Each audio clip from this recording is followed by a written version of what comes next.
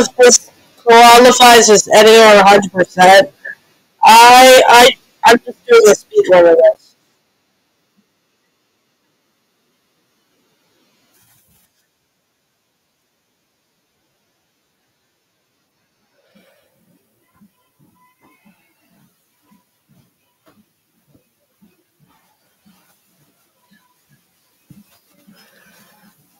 No, I'm just doing a recording.